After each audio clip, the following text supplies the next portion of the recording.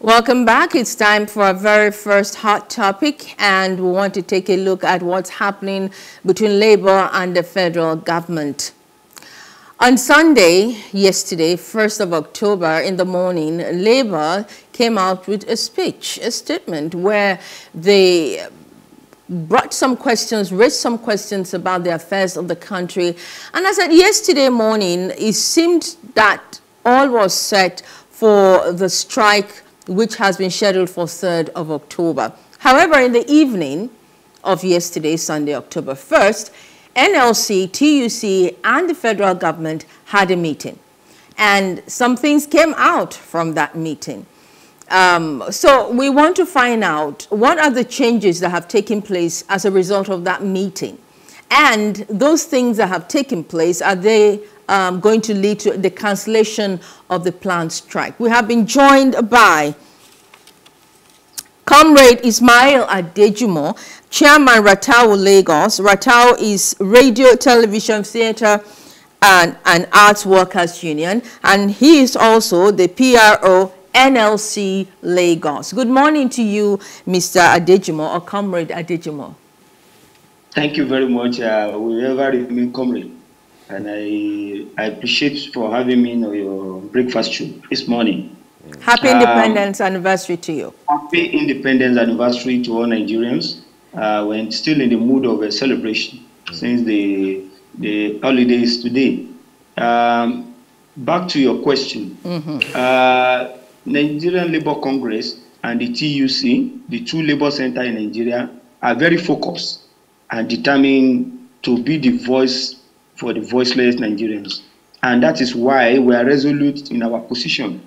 And this position is to get government to the table to discuss those germane issues that borders on the wage award, uh, the issue of subsidy that, is, uh, that has affected the cost of commodities across board.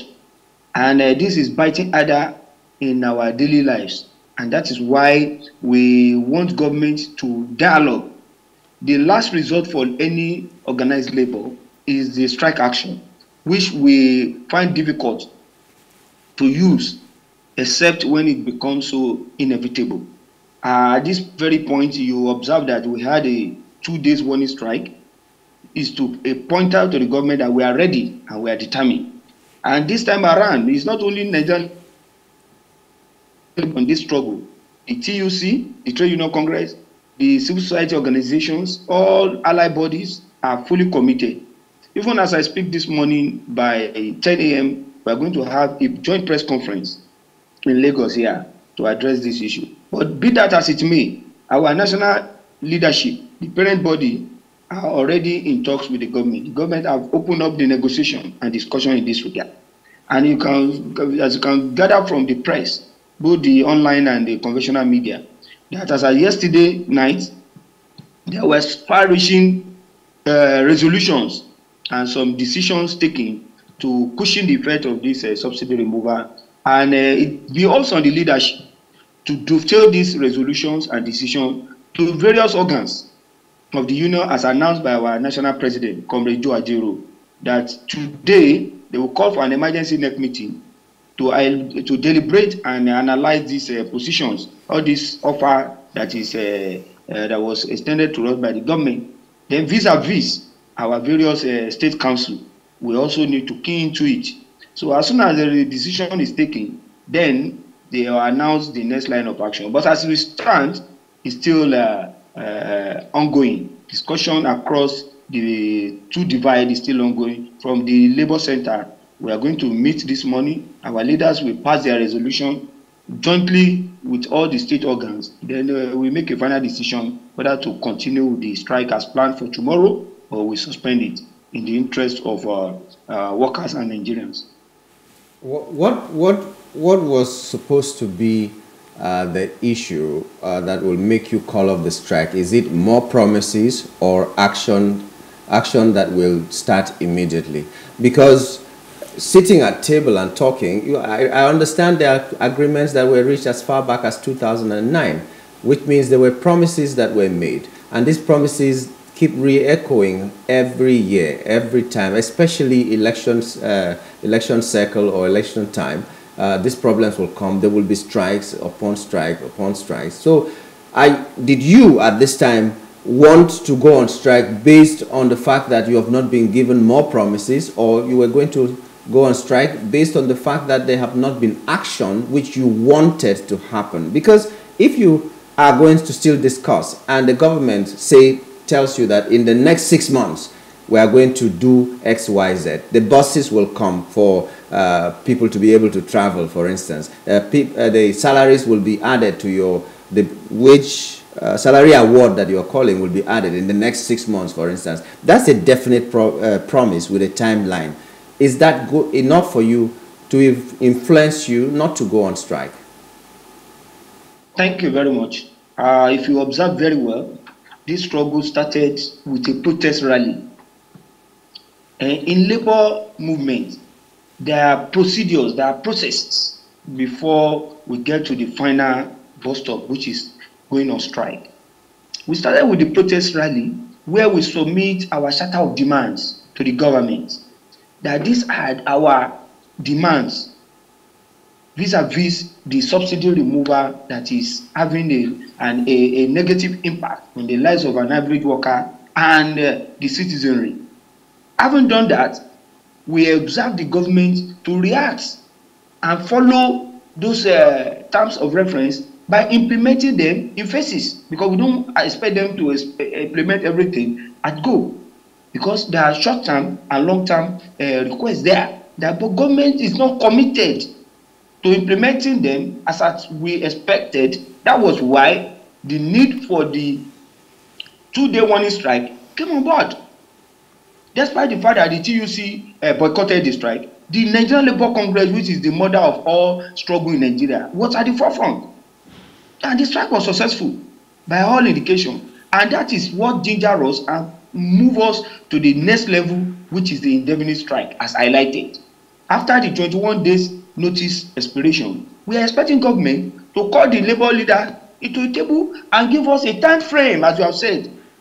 Implementation of policies has to do with time frame and that is what we build confidence in the in, in the, the leadership and the citizenry that government is committed implementing xyz as at when as so so so time. And we will see it in action by the time those things are begin to come in look at the issue of uh, cng the buses. We have been expecting it because of transportation is at the out of reach of common man. Look at the food of uh, the prices of uh, staple foods in the market. It's no more affordable. What are the government doing? The various government of at the state at the component uh, unit of the government the state government are doing little but it is not enough to cushion the effect of this subsidy removal in our in our daily life. So that is why at this point in time we are not only dialoguing on the basis of promises as you have said but implementation framework. The timeline must be clearly stated. But how much how much, how much confidence yes, how this, much confidence this, do you have? uh, promises will come into fruition and we begin to all uh, have a, a, a feel a relief from this uh, hashing Comrade, how much confidence do you have in this government to implement promises that they will make uh, to you that will come to fruition maybe in six months' time. For instance, this is October. We were told about student loans. I, I don't know if you've heard about it or not, uh, but that is for the ordinary man who is not a worker. Now, the government comes and tells you they are going to give you uh, 35,000 naira or 25,000 naira, as the case may be. Nothing, no mention is made about things that will benefit the common man that will be implemented immediately because it is not salary. The buses have not come. The palliatives that they said they were going to give to the people, it gets to the states, and sometimes the state, we hear it on the news telling us that 3,000 something have been have benefited from palliative in a state that will have millions of people and then you are asked not to distribute unless the party chairman of that uh, state is there which means it's going to party faithfuls which means nothing is for the general public. Now, how much confidence do you have in a government that has shown this uh, nature to implement the things that you are asking them to implement if they don't start now? Thank you very much. Uh, the major thing that is uh, missing in the social contract between Nigerians and the people in government is that element of trust. By the time the, the, the citizenry begin to lose confidence and have no trust in the leadership, then there will be problem. And that is why we, the organized labor, the leadership, have most some degree of belief and confidence in the political elite, the ruling class, that the poli- we need to key into the policy trust of government. Policies should be revolved around the workers and the masses. It should be our own uh, making.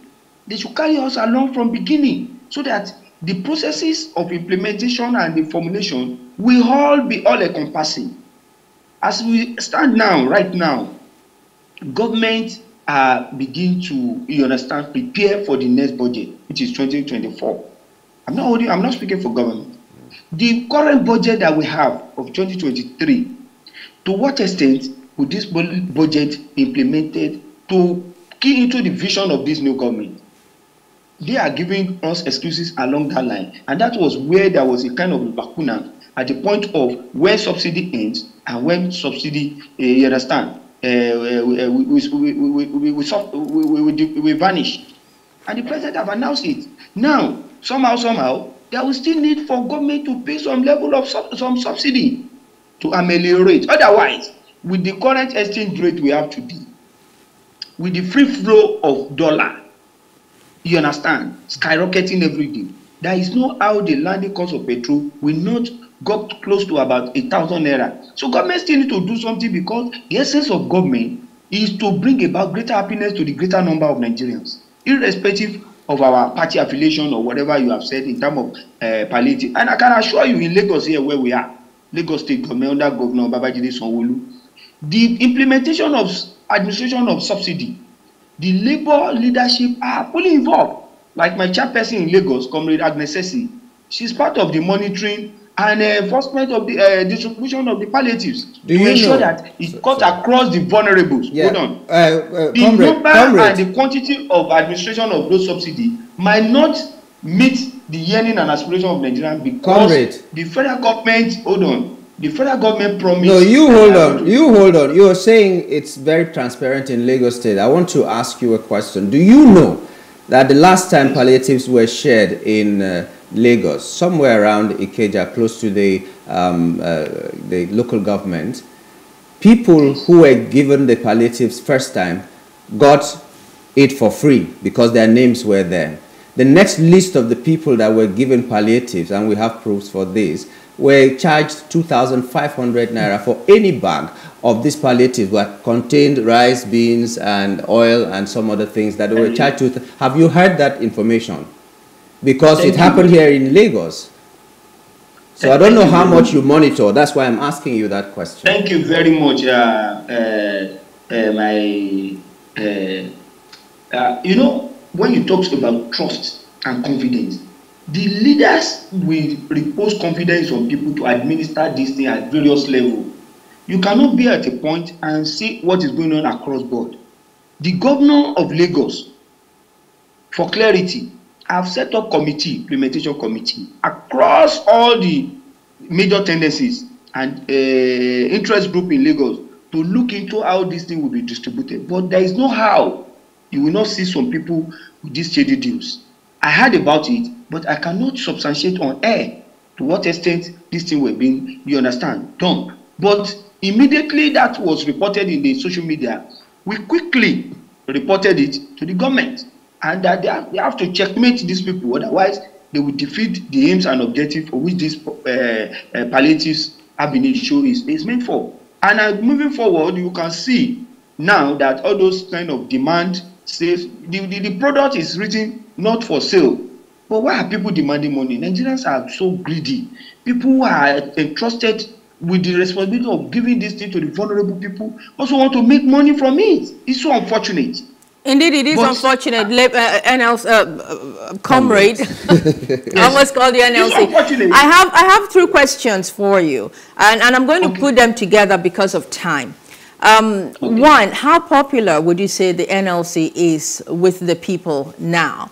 Two, have you felt the pulse of Nigerians with regards to this strike that's scheduled? What would you say is the pulse of Nigerians towards the strike? And three, is the NLC representing all Nigerians or just the federal workers? Thank you very much. Let me start from where you stop. The NLC is the parent body to many affiliate unions in which my own union, Radio, Television, Theatre and Art Workers Union, is one affiliated to NLC. The same thing goes for TUC. We also have some group of unions, most especially in the private sector, that fall under the Trade Union Congress. And by the resolution of NLC, for any action whatsoever, we are bound to comply. And that is why we are determined and set for this strike action, except barely any last minute changes or a decision communicated for us to do otherwise. Are you getting my point now? Now, for the confidence or the trust of Nigerians in NLC, we don't expect anything less because the NLC, right from the military days, go and check the record. The NLC have been the only vocal point that stand for the voiceless Nigerians and will ever remain so because we by the foundation and the, the, the, the establishment ethics of NLC, we are to advocate for the well-being of Nigerians beyond the working class, beyond those who, in, who are earning salaries. That is why in any struggle we are having, you will see the, the, the civil society organization partnering with us. The non-governmental organization, so many allied bodies will join us. And that was why the issue of occupying Nigeria, when it started during Jonathan regime, You saw the NLC. We took a very serious and a very emphatic position, which prompted government to shift ground. The same thing we are doing this time around. Whether Nigerians believe in us or they don't believe in us, the National Assembly is supposed to be the mouthpiece for Nigerians. But I can assure you, are they really doing that? The only voice an average Nigerian needs to rally around now to save them is the NLC. But it would appear to many Nigerians that the NLC were more focused and more determined during the Jonathan administration when you occupied Nigeria? Because Nigerians are already asking, they've been asking the question for some time now, where is the NLC? Where are those people that occupied Nigeria back then? What would they seem to see is NLC threatening and then they meet government and then they shift ground and then they threaten and then they meet government and then they shift ground. It's becoming something yes, that Nigerians are no longer finding thank you, funny. Thank you very much. Mm -hmm. The mm-hmm. position of NLC today, most perceived by Nigerians as political. Let me be honest with you. Because of the just concluded general election. The position NLC took, you know, uh, we, I don't want to talk politics because I'm not here for that. But I can assure you, by the fundamental principle and objectives of NLC, in which we are to struggle for the interest and the well-being of workers and Nigerians, we stand by it and nothing will deter us. If Nigerians want to believe, because the current government, we want to give them benefit of doubt for 100 days, six months, one year in office, we they will give an account, stewardship of what policies have really translated into the well-being and uh, benefit of Nigerians. But every government will have its own honeymoon. And that is the first three or four months to settle down. They constituted the cabinet, we can see, they are just settling down. Before, we don't have Minister of Labour when we started this struggle. And that was the reason why oftentimes you see the Labour leader, they will quit the negotiation table because you don't want to speak into the air and all what you have agreed will not come into fruition. How would you now, respond to the? To hold responsible. Hold on. How, how we have you... people to hold responsible. Hold on, hold on. We have people to hold responsible. Now we have Minister of Labour and Employment who will be responsible for the resolution reached with the government, and all these things will come culminate into what next action the labour leaders will take in implementing the policy that we have agreed or not. So Nigerians have the choice to support the NLC as his own uh, advocate to press home their demand because it's only the working class that are suffering and every Nigerians are suffering. The people in government too understand that we are suffering, but they have to be compelled and pressurized to do the right thing. so that all of us will have the uh, a better nigeria that we desire. All right. So how would you respond to the allegations that NLC has been compromised? Never will nlc be compromised. But because we are not political party, let's get it right. We are organized labor. We are professionals. You saw what happened in the Ministry of Works recently when the governor decided to to to to to, to lock out the workers without following down the lay procedure, lay down procedure. If workers are not coming to work as at the right time, the public service rules is very clear. You follow the process issue them query if they are not responding you do the necessary process that will that will that will give them the necessary sanction not locking the gate you know using those measures that are you know the workers we can never be compromised we can never be compromised we we cut across different backgrounds we have professionals in our midst all right just before we go just before we go, I, I, I, want to ask you the question I'd asked earlier before you came on, and it's one of the headlines on The Guardian this morning. Casualization, concerns over exploitation, high demand for cheap labor. Over the years, we've seen how Nigerians have been exploited by contractors, foreigners and Nigerian contractors. What has labor done to protect workers who have been exploited and who are exploited in the country? Thank you very much. Before this struggle, in labor movement, for you to know that even the labor law of Nigeria frown at casualization at any level.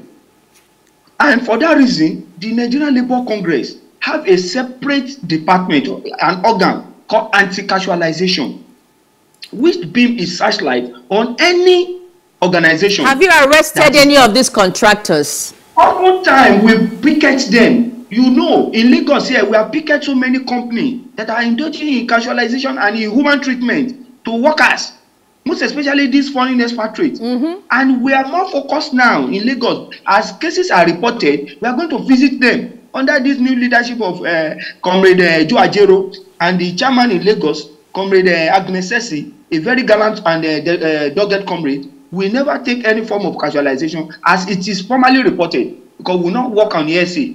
Once it's formally reported to the Secretariat of NSC in Lagos, it will be referred to the anti-casualization committee and they will swing into action. I can assure you, from now going forward, uh, any form of casualiz uh, casualization of Nigerians in any organization, either public or private, will be met with uh, stiff resistance. So if it's not reported, it has to be formally reported by those experiencing yes. it before you can yes. take action. Yes, it won't be formal because we are organized labor. We are not just uh, uh, street workers.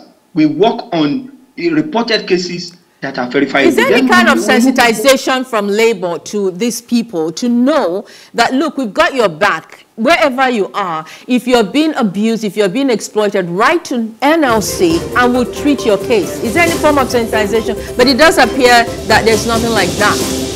Thank Otherwise, it wouldn't much. be going on as it's been going that, on. Thank you very much. That brings me to the question of unionization. Most of the private establishments, even in the media where you are, are you unionized?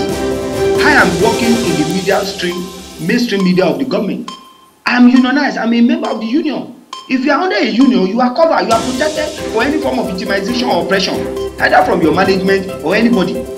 But oftentimes when we move out for organizing these people into a union, they will say, eh, we don't want to be this, so oh, our It is by collective resolve of workers that you have power to challenge the authority. And that is why the union slogan and uh, first standard of union uh, solidarity song is that when union inspiration to the workers blood shall run there can be power greater anywhere beneath the sun. So if we are united in whatever form, in 10, in 20, in 30s, you have the power.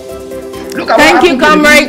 Comrade, thank you so much. This, look this at what happened to a minister of work. He apologized to the workers. Yeah, time, time, time is, is no longer on our side, but thank you so much. You've spoken so well, and uh, we thank look forward to hearing from NLC today from your thank joint uh, meeting to find out exactly what's going to happen tomorrow. Yeah uh, we are expecting you to, to be there to cover the event so that we lay down our positions. No Thank problems. You. Thank you so much, comrade. Comrade Ismail Adejumo, Chairman RATTAWU Lagos and PRO NLC Lagos has been our guest on the first hot topic. We'll be back with our second hot topic in a moment. Stay with us.